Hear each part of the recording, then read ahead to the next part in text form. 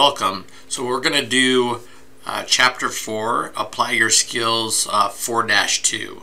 And so in order to do that I had to go ahead and open up the AYS underscore A2 underscore chapter 4 company file. You can do that either, you can either open the company file or you can restore the portable file. So this is what I have open here and what I'm going to do is I am going to uh, go ahead and enter um, some credit card charges for the American Express credit card. So I'm going to click down here on enter credit card charges. So for these, uh, what you want to do is you want to make sure you, you have your American Express selected, which is the only card in there. And then we're going to go ahead and enter the data. So a couple of points to when you're entering the data. There's going to be several of these vendors that are listed here that we do not have in the system. So if you enter a vendor that's not in the system, what you need to do is you need to uh, quit, do the quick add. And just for example, let me let me say I'm I'm entering Mr. Mr. Bell, right?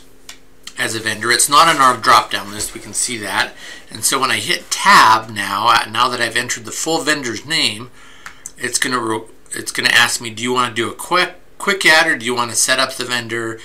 Uh, you can click this blue button and quick add it. I'm going to go ahead and hit cancel because I don't want to actually do that.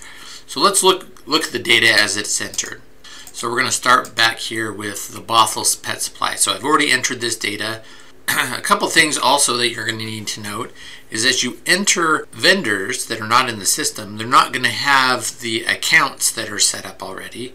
Uh, for example, this second one here, Glenn's Handyman Service was quick quick added. I did the quick add button.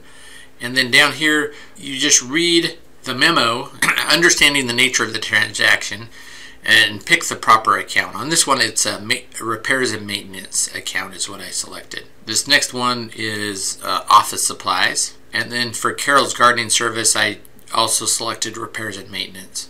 The fifth transaction down as a refund. So what you're going to want to make sure to do is you want to select this refund toggle right here.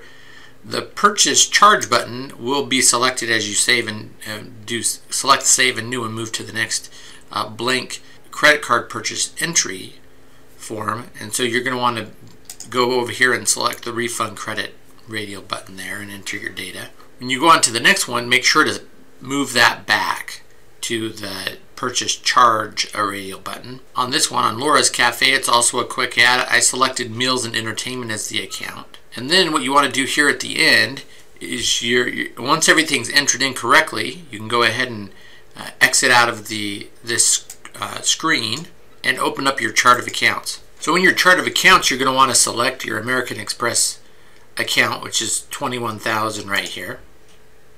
Right click on that and you can select from the bottom of the drop down list after you right click on your mouse the quick report. Enter the correct data points that it's asking for which is for the month of June 2023 so that's June 1st through June 30th then it'll bring it up here. It'll say as of June 30th 2023 go ahead and hit your Excel drop down arrow and create a new worksheet you're going to want to save this Excel worksheet that comes up. It says create new worksheet. Go ahead and hit export. You're going to want to save this new worksheet uh, where you save your files for submission and then you'll have it there for submission.